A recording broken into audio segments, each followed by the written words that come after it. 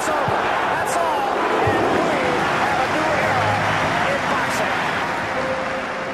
2019 is going to be a year for me to prove myself. Prove that I can come back from injury. Prove that I can move into a new weight category. And prove that I'm the best boxer that I've ever been. I can't wait to continue to fight under the Ringstar banner and prove to everybody what I'm really made of.